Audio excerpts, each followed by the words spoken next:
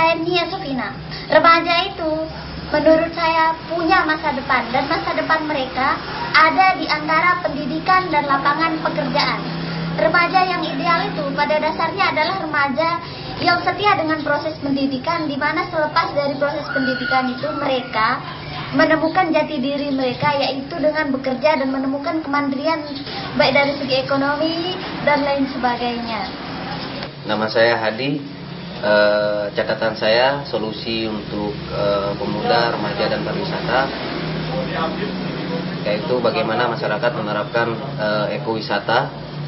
Yang kedua pendidikan, pendidikan yang sesuai dengan kebutuhan dari pariwisata itu sendiri. nama saya Hamdani, saya memilih uh, apa pendidikan dan apa uh, ini lapangan pekerjaan lapangan pekerjaan karena di Lombok Utara pada khususnya lah.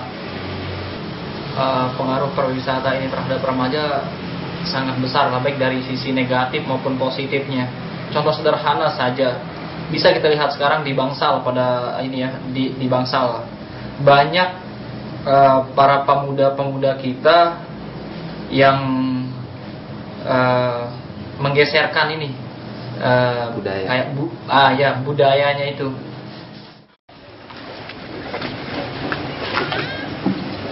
Uh,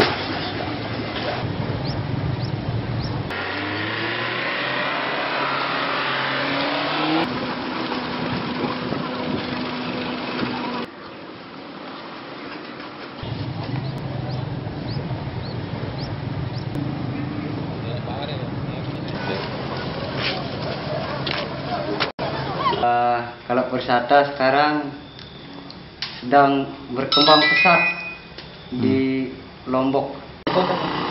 sukses dalam bidang pariwisata atau bisa meningkatkan bidang pariwisata di Lombok Utara. asik kalau di tentang pariwisata tuh sosialnya yang sangat tinggi katanya mereka bisa mendapatkan uang, bisa menghidupi keluarga, sana ekonomi mungkin bisa lebih bagus.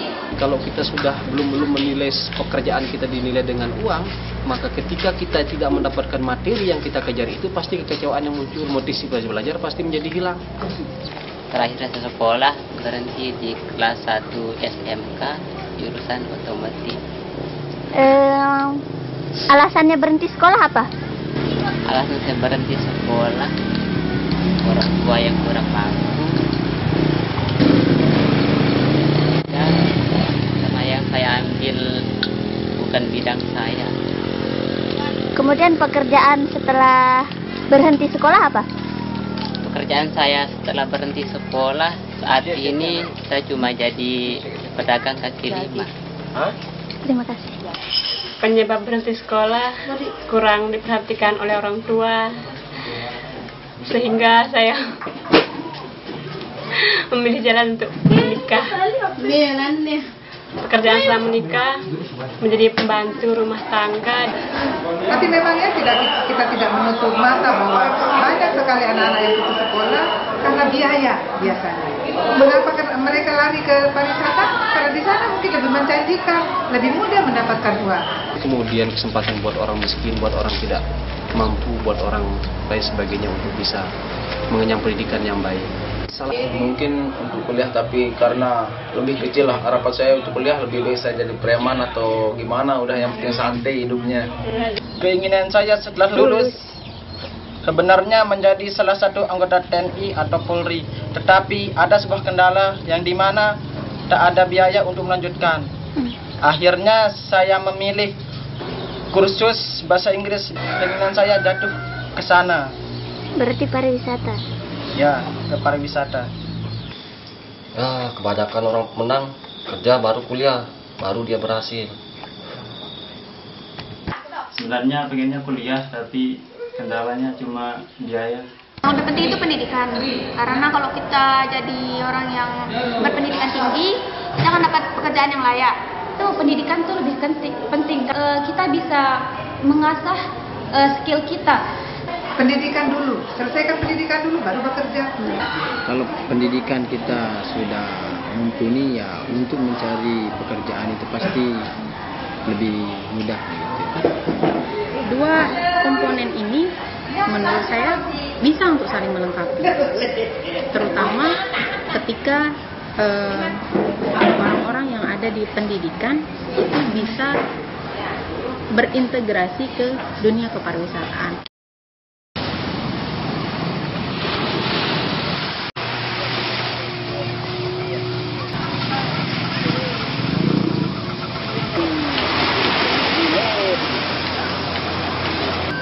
Kalau sudah ada imannya kuat, biar ke gili, apa budaya barat yang dia terima? Contohnya eh, bu, eh, dari TV aja dia langsung serap gitu. Apalagi dia langsung melihat eh, orang-orang eh, barat yang datang itu berpakaian seperti apa. Dia pasti langsung menyerapnya dan be- berperilaku seperti mereka. Eh, dampaknya dari bangsa asing itu seperti narkoba, pergaulan bebas, dari pariwisata itu ya memang bisa dibilang ya gitu sudah namanya juga adalah pariwisata Eh, kita itu eh, mudah terpengaruh oleh eh, lingkungan sekitar kita itu.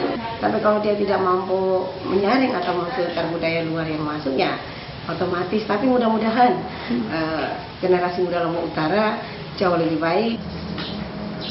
Eh, susah. Kadang susah kadang enggak. Kalau kerja ja- cepet capek kadang kadang enggak. Untuk saat ini memang Kalau berbicara kondisi saat ini, eh, khawatir iya, sangat khawatir, karena eh, banyaknya remaja yang tadi secara kependidikan atau ya pendidikan itu tidak mengenyam pendidikan yang cukup, kemudian tidak memiliki dasar atau basic pendidikan yang yang sesuai, saya pikir jadi eh, sudah ada nilai-nilai yang mulai rusak, ya banyak kita saksikan sekarang eh, hal-hal atau tindakan-tindakan kekerasan, hal-hal buruk yang itu dilakukan oleh remaja. Eh, jika ini kondisi ini terus berlanjut, maka masa depan bangsa ada pada pertanyaan besar. Seperti apa bangsa kita? masa depan bangsa ini ada di pundak remaja